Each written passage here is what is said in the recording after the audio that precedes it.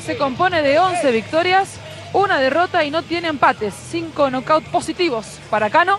La última pelea la hizo el 8 de octubre de 2011, perdiendo en decisión mayoritaria en ocho vueltas frente a Miguel Leonardo Cáceres en San Martín de Mendoza. Repetimos los pesos, 62.500 para Cano, 63.700 para Mancilla. Hay que calmarle la ansiedad, Claudio Altamirano, ¿no? Por la facha que trajo seguramente debe ser por eso. Por favor, Claudio. En combate complementario, pactado a la distancia de cuatro asaltos en la división de los superligeros, se enfrentan en la esquina roja con un peso de 62 kilos 500, 6, 2, 500 de la ciudad de Tunuyán, provincia de Mendoza, Juan Carlos Cano. En la esquina azul, con un peso de 63 kilos 700, 6, 3, 700 de la República de Bolivia, ahora radicado en la provincia de Córdoba, Luis Mancilla. Es árbitro de la pelea el señor Javier Luján. Son jueces los señores Miguel Leiva, el doctor Gustavo Estrella y el señor Carlos Aguilera. Fiscaliza la Federación Mendocina de Box. Es médico de turno los doctores Martínez Put y Genaro Gerbaudo.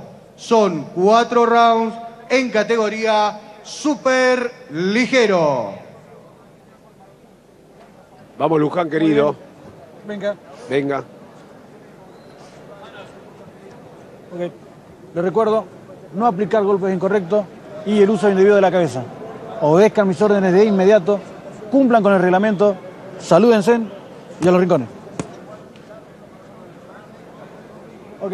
Uno de los pocos árbitros que no le escuché decir suerte a los dos. Es medio complicado que tenga suerte los dos, ¿no? Éxitos, en todo caso. Estuvo muy bien lo que dijo, los rincones, perfecto. Difícilmente a los dos los acompaña la suerte. Por eso te digo, es difícil. Muy bien la deducción. ¿Cuál, era esa la deducción? Perfecto. Segundos afuera, primer round. Pantalón rojo para el boliviano Mancilla, pantalón negro para el hombre de Tunuyán. Nos referimos a Juan Carlos Cano, que seguramente y en algún momento le va a pesar la larga inactividad. Un año Uno y un supone. mes. Un año.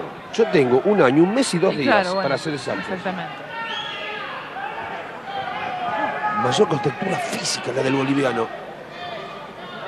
Más espigado, más delgado y un poco más alto Cano. Que quiere empezar a trabajar con el jab de mano izquierda en media distancia. Lucho Mancilla. ¿Tendrá relación con, con la mole moli? Teniendo en cuenta que vive en el mismo lugar. Buscó bien abajo, combinó bien Cano. Terminando con el gancho de izquierda. Propone el boliviano. Sin muchas condiciones técnicas, achicando y recibiendo. Buen cross de mano izquierda, ahora de Cano. Trabaja mejor Cano, maneja los tiempos y la distancia, sobre todo con los golpes largos. Y cada vez que intenta avanzar Mancilla, queda fuera de distancia. Los pasos laterales también son importantes de Cano en el inicio de la pelea. Para luego, como decía Silvana, buscar la distancia y trabajar. Lo está haciendo ahora con el cross de mano izquierda. Quiere achicar y meterse adentro el boliviano. Combinó bien ahora, abajo y arriba. Golpes abiertos del boliviano. Ese no es el negocio para Cano, esperarlo contra las cuerdas y que descargue todo su potencial Mancilla. Tiene que trabajar desde afuera. Bien Cano, con la derecha arriba. Gancho de izquierda abajo y luego salió de las cuerdas. Desde ahí tiene que trabajar. Izquierda y derecha, lo hizo pasar, buen movimiento de cintura. Parece no sentir la inactividad, Cano. Por lo menos, generalmente los boxeadores que están mucho tiempo sin combatir, quedan a mitad de camino, no logran la distancia. No es el caso de Cano, que llega bien con el uppercut de mano derecha. Aguantó bien el boliviano. Trabajando de contra mucho mejor el argentino. Se está yendo, se va, se va el primer asalto. Quizás no haya tenido competencia, le haya faltado ring, pero se mantuvo activo, entrenando. Con buen- buena variedad de combinaciones y de golpes. Derecha por adentro, izquierda, la no está bien el boliviano, atención, se va al piso. Dos, no está mal el boliviano, tres. Le movieron el ring, cuatro. Esto se va a terminar. Hay mucho olor a knockout, siete, ocho, nueve. Out, out, out. Knockout, knockout, knockout. Con una combinación sensacional, izquierda y derecha por adentro. Se veía venir, liquidó el pleito Cano, que vuelve después de mucho tiempo. Parece no haber pasado precisamente ese prolongado tiempo para el hombre de Tunuyán. Le ganó claramente por nocaut en el primer asalto al boliviano Luis Mancilla en una definición sencillamente espectacular. Y qué mejor retorno que esta definición, estoica. Knockout 1 para Juan Carlos Cano y de esta manera suma su victoria número 12 en su campaña como boxeador rentado, definiendo con mucha claridad, con un amplio repertorio de golpes, abajo, arriba, ascendentes, descendentes. Nada por hacer por parte del boliviano que reside en Villa del Rosario.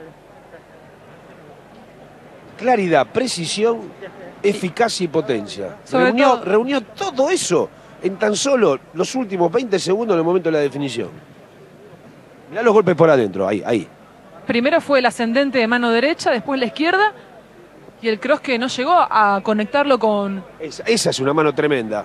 Y ese es el uppercut que viene por adentro. Y el cross de mano izquierda. O sea, mucha variedad de golpes. Cross de derecha, ascendente de mano izquierda, ascendente de mano derecha, ascendente de mano derecha, cross de izquierda y para definir el cross, el último cross de derecha que para completar la obra, pero los golpes anteriores fueron los que marcaron la gran diferencia, la justeza y la puntería, sobre todo, para destacarse y para llevarse un nuevo knockout en su carrera como boxeador, seis antes del límite. Victoria número 12 de Juan Carlos Cano. Claudio Altamirano y el fallo oficial de la pelea. Fallo de la pelea. Vencedor por nocaut a los 2 minutos 40 segundos del primer round. Juan Carlos Cano. Ha ganado Juan Carlos Cano. Atención Mendoza. Knockout en el primer asalto. Vuelve por la victoria, vuelve por el camino. El cual estaba asignado en toda su carrera hasta que llegó la pelea que lo alejó bastante tiempo de los cuadriláteros. La pelea frente a Miguel Leonardo Cáceres, que se realizó precisamente el 8 de octubre del 2011. Y luego dejó hasta este preciso momento. En aquella oportunidad perdió por decisión mayoritaria frente a un boxeador que ha combatido con los mejores de la división y también de otras categorías, como es Miguel Leonardo Cáceres. Hoy se reencuentra con la victoria y con la definición antes del límite. Vamos a la pausa, enseguida continuamos en boxeo de primera desde Malargüe, Mendoza, tierra de campeones.